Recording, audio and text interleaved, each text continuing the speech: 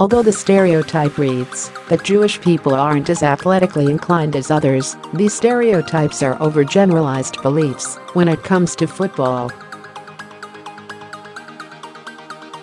Many Jews have played ball or sat in the league's corporate offices. On Sunday, the New England Patriots take on the Los Angeles Rams at Mercedes-Benz Stadium in Atlanta.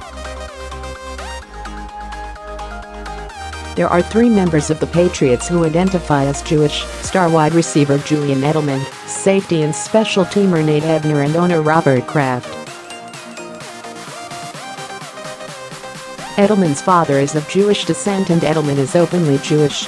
During a holiday season NFL Network interview in 2014, when the broadcaster asked Edelman if he was ready to give some good Christmas answers, Edelman responded, Well, I'm Jewish, but I'll try to keep it to Hanukkah presents, even though Hanukkah is over.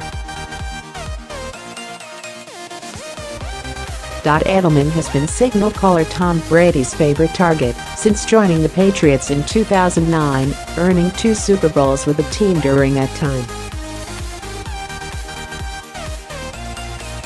Ebner was a world-class rugby star before he played football, which he only took on in his junior year at Ohio State University. He serves as a Patriots defender and also a two-time Super Bowl champion. Kraft is a notable philanthropist. He is the recipient of the 2019 Genesis Prize, known as Israel's Nobel Prize. Not playing Sunday night, but still notable Jewish members of the NFL, past and present, is an even longer lineup. But, as the once famous Art Modell used to say of the Jews, we don't play, we own. Modell was the owner of the Baltimore Ravens. Other iconic Jewish football team owners include Oakland Raiders outspoken owner Al Davis and Atlanta Falcons owner Arthur Blank. What about on the field? Ah, just last year, the Arizona Cardinals selected quarterback Josh Rosen to lead the team as their next hopeful franchise quarterback. Don the Chosen Rosen or the Chosen One in college, Rosen was an All-American top-rated recruit out of high school and went on to be the UCLA Bruins' first true freshman to start for team in a season opener. Mitchell Schwartz, an offensive tackle for the Kansas City Chiefs who played college ball at UC Berkeley, was just one game away from making it to the big dance this season, losing in the AFC Championship.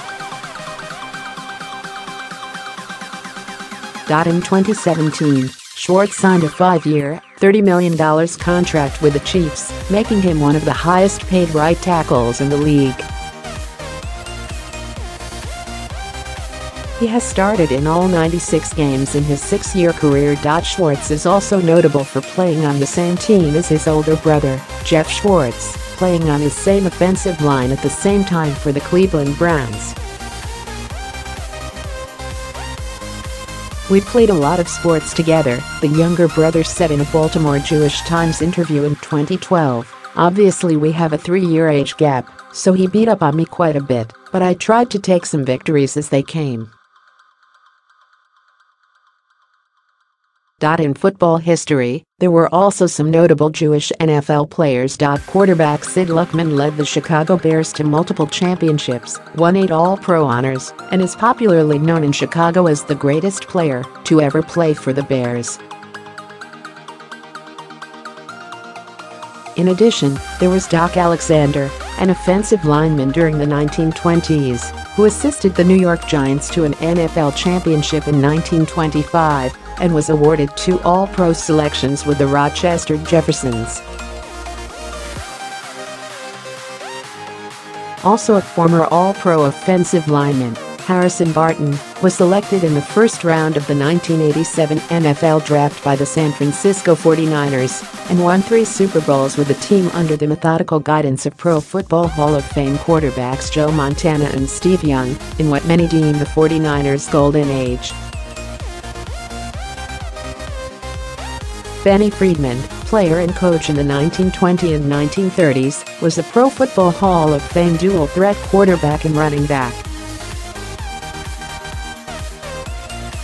He was awarded with All-Pro honors four years in a row. Lyle Alzado played with the Denver Broncos, the Cleveland Browns, and the Los Angeles Raiders, earning a Super Bowl victory with the latter, as well as two previous Pro Bowl nominations in years before. Alzado later admitted to steroid use and became an advocate against players using the banned substance for personal gains. Alzado died at 43 of brain cancer. And finally Ron Mix, who notably played for the San Diego Chargers, was an eight-time All-Star and won a championship with the team in 1963. Mix was inducted into the Pro Football Hall of Fame in 1979, only the second player from the AFL to earn the honors. Other notable members include safety Taylor Mays, quarterbacks Jay Fiedler and Sage Rosenfels, offensive lineman Gabe Carimi and linebacker Andre Tippett. So, there you have it, many great Jewish players, coaches and owners have had the opportunity to shape the NFL, and depending on how the game goes this Sunday, they will continue to be role models too.